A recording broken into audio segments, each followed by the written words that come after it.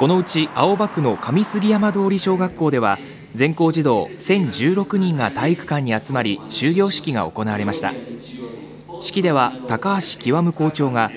2学期はさらに挨拶や言葉遣いに気をつけましょうと呼びかけました。そして児童の代表が1学期に頑張ったことを発表しました。初めて漢字を習った時はとても楽しかったです。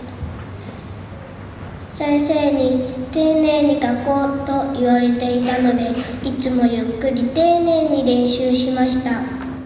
私はどうしてもどうしても二重跳びができるようになりたかったので上手なお友達の真似をして練習をした結果9月には二重跳びができるようになりました。この後児童たちは担任から通信票が手渡されました。入学後初めて通信票を受け取った1年生は1学期の学習の成果を振り返っていました。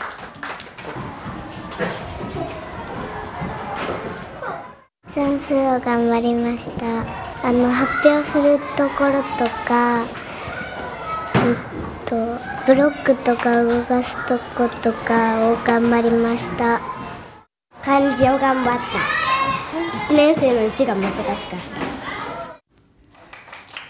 た2学期制を取る仙台市立の小中学校は明日から5日間の秋休みで今月17日から2学期が始まります。